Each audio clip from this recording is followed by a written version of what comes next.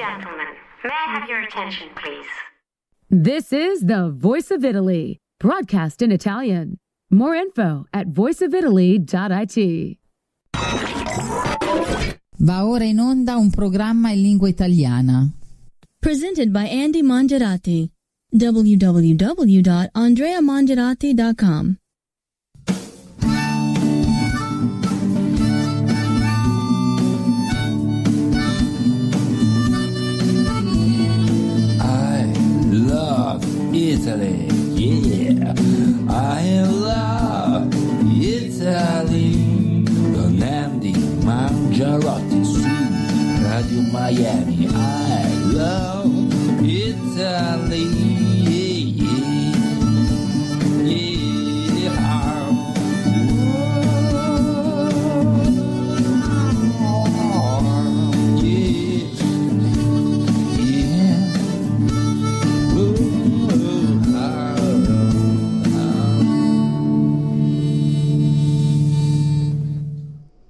Cari amici e care amiche delle onde corte, benvenuti all'interno di I Love Italy, i 15 minuti in lingua italiana della WRMI Radio Miami International.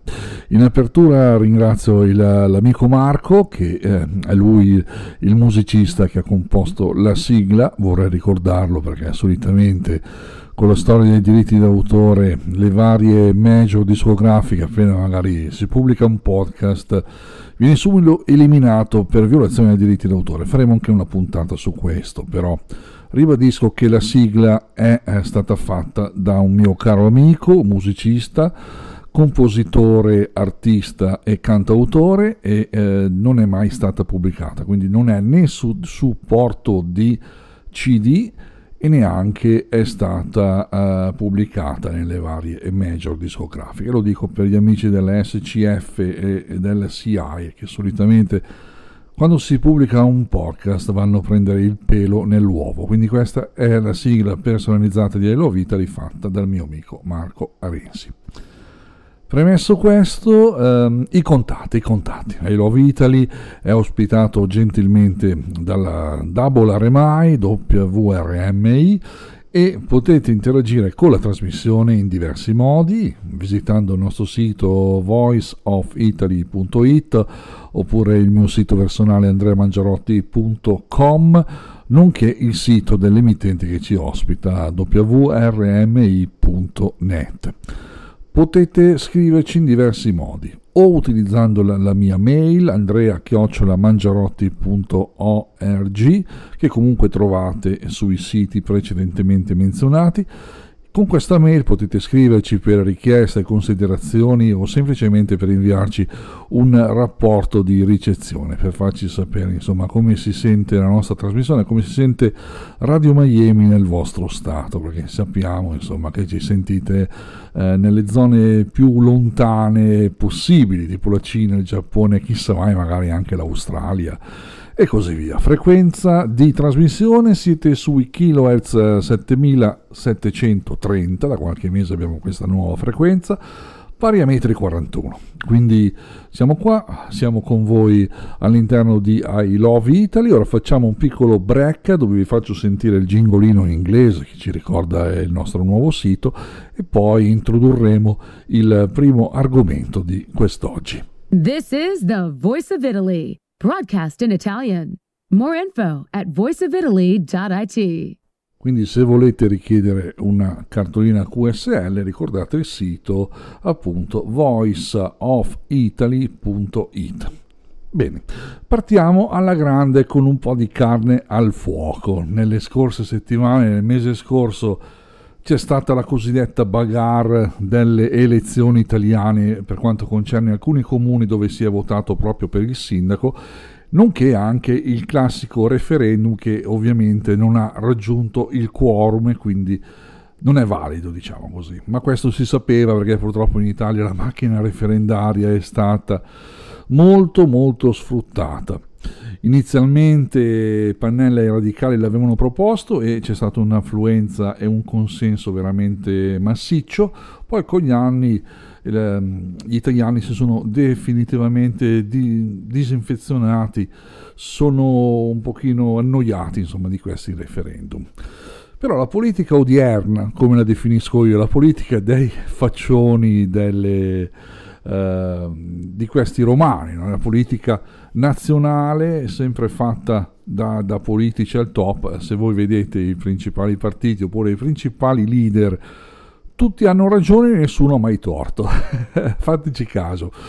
Sempre eh, eh, risulta che ha perso e no, però io ho vinto, è così. Questa è la politica romana del 2022.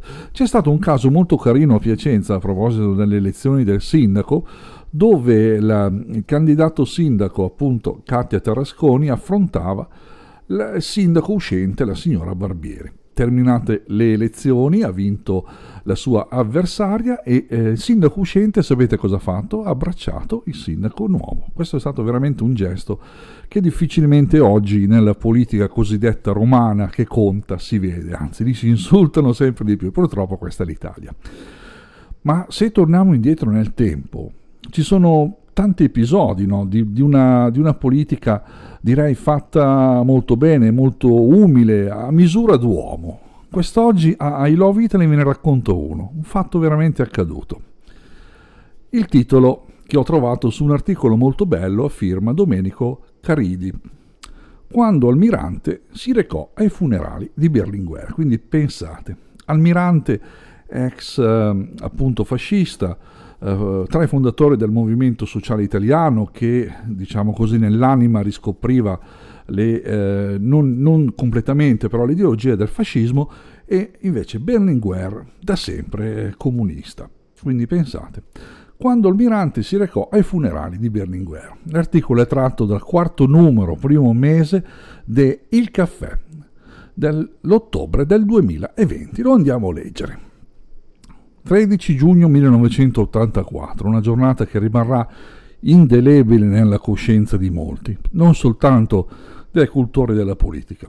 Fu il giorno in cui si celebrano i funerali di una delle figure più influenti del Novecento, il segretario del Partito Comunista Italiano Enrico Berlinguer. Il corteo con la bara sfila dalla sede del partito in via Bottega Oscure a piazza San Giovanni, siamo a Roma il tutto accompagnato dalla presenza di quasi un milione e mezzo di persone per esprimere ammirazione ma anche amore nei confronti dell'uomo che aveva guidato il PC durante gli anni difficili degli anni 70, mentre la gente era in fila per entrare alla Camera Ardente, si intravede all'improvviso il volto di una persona molto nota all'epoca, stempiato, occhi chiari, baffi inconfondibili. Era proprio lui Giorgio Almirante. Ma come, voi vi domanderete, il segretario del Movimento Sociale Italiano ai funerari di Berlinguer, un'icona del comunismo nostrano? Ebbene sì. Ma torniamo un attimo indietro, all'11 giugno, quando Almirante seppe della scomparsa di Berlinguer. E Almirante ebbe una reazione alquanto strana, ma nel contempo significativa. Quando gli viene comunicato della morte di Berlinguer, leader indiscusso del Partito Comunista, quindi completamente opposto da lui, che poteva anche odiare. Almirante si chiuse in una stanza, spense la luce, rimanendo completamente al buio, si mise un plaid in testa e, pensate un po', iniziò a piangere. Fu una notizia che lo scosse profondamente sotto ogni aspetto. Nell'arco di tempo compreso tra la sera dell'11 e la mattina del 13, Almirante ebbe modo di prendere un'importante decisione, ossia quella di recarsi ai funerali dell'avversario di una vita che si sarebbe tenuto quel giorno stesso. Così Giorgio Milante si alza dal letto, andò in cucina laddove sua moglie, donna Assunta, stava preparando il caffè, qualche istante di silenzio e Almirante, rivolgendosi alla moglie, gli disse ho deciso, vado ai funerali. Ad attendere Almirante fuori dalla sua abitazione vi era un'auto che avrebbe scort- lo avrebbe scortato fino a via delle botteghe oscure.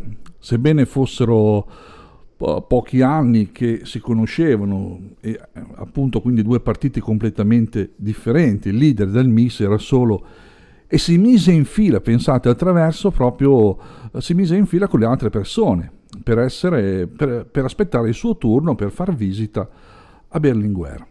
Viene raggiunto immediatamente da Giancarlo Paglietta e Nilde Iotti, esponenti storici del Partito Comunista, che lo accompagnarono all'interno della Camera Ardente. Pensate un po', non l'hanno cacciato, l'hanno accompagnato all'interno della Camera Ardente per rendere omaggio al suo avversario politico.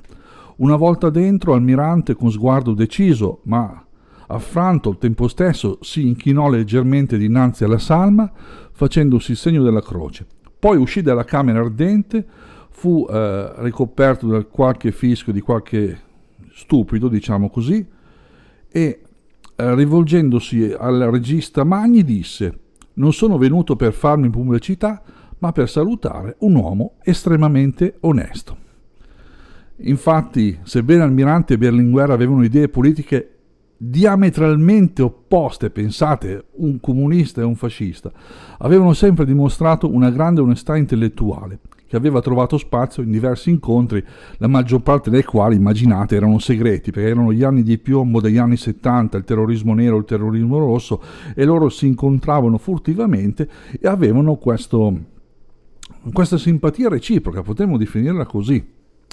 Questo rispetto reciproco lo si evinse anche dal fatto che, in occasione della morte di Almirante, quindi siamo nel 1988, Paietta e Nilde Iotti si recarono in via della Scrofa, sede del movimento sociale, per ricambiare l'omaggio che il politico romagnolo aveva reso pochi anni prima al loro leader. Quest'oggi vi abbiamo raccontato questo episodio bellissimo de- della politica italiana oggi sempre più urlata, gridata, eh, si, si, dicono le peggio cose, hanno vinto tutti. Questo è un esempio di umiltà che dovremmo, eh, secondo me, eh, portare ai posteri, quindi ve l'ho raccontato. È un lato bellissimo, a mio avviso, della nostra nazione, della nostra Italia. Quindi vi abbiamo raccontato questa bellissima vicenda e spero che possa essere d'esempio a tutti noi per essere uomini migliori, cercando di non odiare nessuno, ma ammirando anche ammirando i nostri avversari. Perché no? È stato un gesto meraviglioso. I Love Italy termina qua, io vi ringrazio per avermi ascoltato sulla WRMI, a Dio piacendo ci sentiamo prossimamente, ringrazio Jeff White per lo spazio e per avermi permesso di essere in onda anche questo mese sulle onde corte, a Dio piacendo ci sentiamo prossimamente. Un saluto dell'Andreone, ora le trasmissioni continuano con i programmi di Radio Miami International. Ciao ciao, alla prossima, ciao, ciao, grazie. Ladies and gentlemen, may I have your attention, please? This is the Voice of Italy, broadcast in Italian. More info at voiceofitaly.it. www.andreamangerati.com.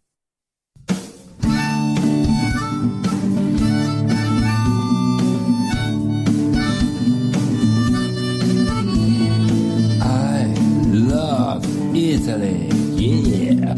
I love Italy. Don Andy Mangiarotti su Radio Miami. I love Italy.